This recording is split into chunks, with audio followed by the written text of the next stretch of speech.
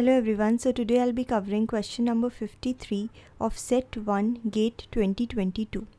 A reinforced concrete beam with rectangular cross section width 300 mm, effective depth 580 mm is made up of M30 grade concrete.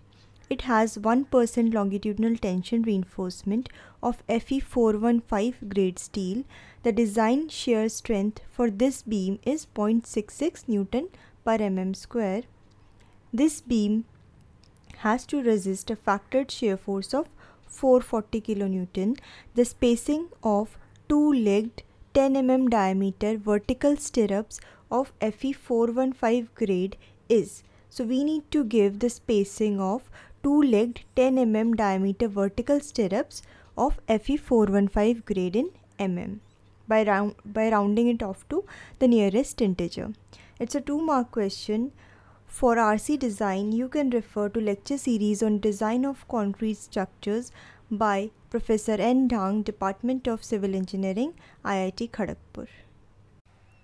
Now let's proceed towards the solution of this problem.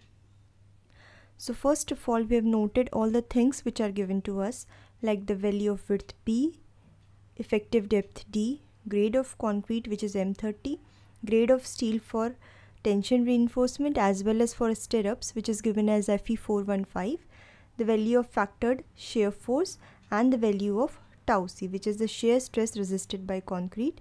The value is 0.66 Newton per mm square. So in this problem we just need to follow some steps, apply the formula and we'll get our answer. The first step is calculating the nominal shear stress. So nominal shear stress is calculated using the formula tau v equal to Vu by Bd.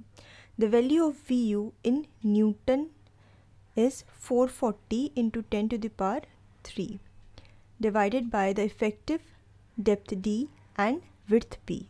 Width b is 300 mm and effective depth d is 580 mm. This is given in the question. From this we get a value of tau v as 2.529 Newton per mm square.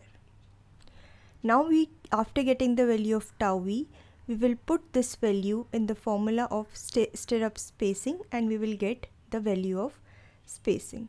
So stirrup spacing should be less than equal to 0.87 times the yield strength which is Fy is 415 in this case the value of ASV. ASV is the area of stirrups.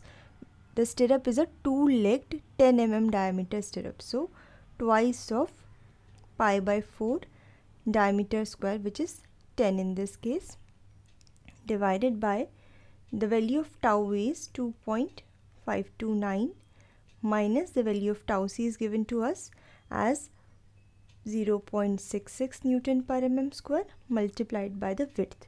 The width is 300. Solving it, we get a value of SV which is less than equal to 101.147 mm.